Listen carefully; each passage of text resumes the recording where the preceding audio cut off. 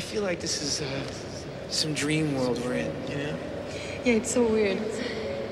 It's like our time together is just ours. It's our own creation.